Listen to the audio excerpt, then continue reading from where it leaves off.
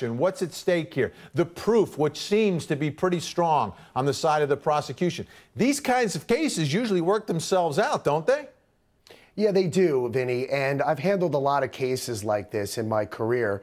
And it is very interesting because the facts clearly show that there was theft by deception. And why that particular case did not get resolved, obviously, only the state and the defense can speak to that. But I'd like to think that in this particular case, there was a great amount of effort in order to resolve this particular matter before it went to trial. The reason why we're going to trial, but it also could be, from a defense perspective, the reason why these witnesses are testifying the way they are, because there's something else very big at stake, which is the custody of the children. Well, certainly that's an issue, especially an issue for a defendant and a defense attorney. However, it sounds like the reason why this case was not resolved was for all the other reasons other than what the facts of the actual case were. And as a matter of fact, if I recall the case correctly, there was actually some pretrial motions filed in order to change the venue from this particular county to another county. And I think that would have been deemed to be appropriate given the fact that this entire community was up in arms about what took place. And more than likely, she couldn't get a fair trial based on the fact that everybody in that courtroom was somehow affected by this particular incident. Michael Christian, our field producer, you were there. Uh, Trayvon Martin didn't know George Zimmerman. George Zimmerman didn't know Trayvon Martin. So any reputation that anyone had or anyone that either one of them did before they met that night, to me, is irrelevant. What well, do you think? I, I, I, to a certain extent, agree with you 100%. I know Mark O'Mara. I have a case with him. He's a well seasoned attorney.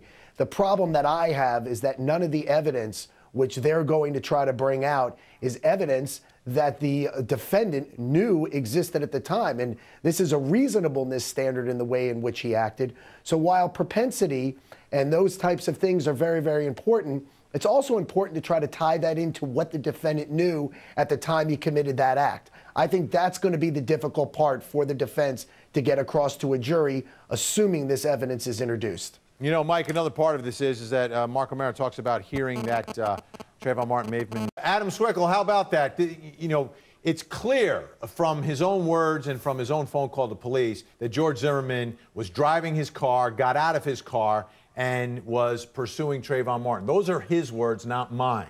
Um, the actual confrontation is is it important who throws the first punch, or is it important how this confrontation begins, or will it be enough that Trayvon Martin is being pursued by some stranger who got out of his car? I think all of it is important for you to consider when dealing with this because we are dealing with reasonableness.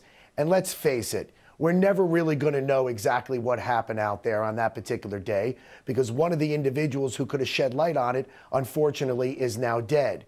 But I absolutely think his following of the individual, his history dealing with this weapon. I think that was a fantastic point that the defense better be careful. They just may get what they wish for. If they bring out the past of this young gentleman, then that may open up the door for their client's past to come in. And all of these things are going to be very, very important factors in determining whether or not the stand your ground law was effectuated in this particular case.